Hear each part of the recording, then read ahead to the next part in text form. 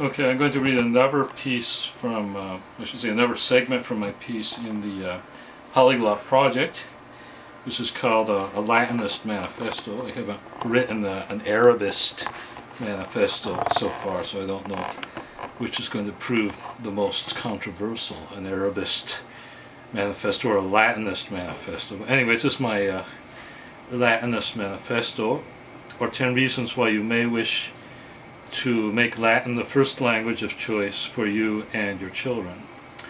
Number one, Latin is the language that best represents Europeanness and the best vehicle of pan-European sentiment.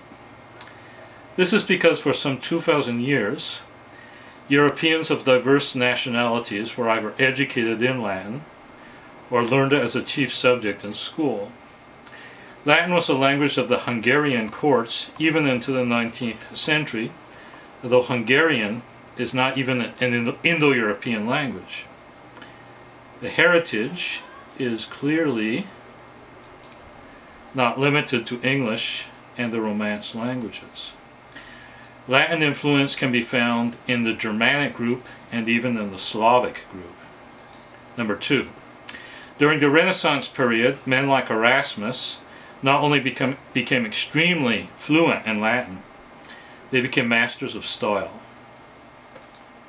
And yet it was not their native language. Indeed, there were no, no more native speakers. Latin had survived its own funeral. And precisely because Latin was nobody's native language, all users were at least potentially equal. Among the learned, at least, Latin was a language of equal linguistic rights. For this reason also it should be resurrected. Number three, there is evidence that Latin stimulates mental agility. It is an excellent introduction to the way languages work.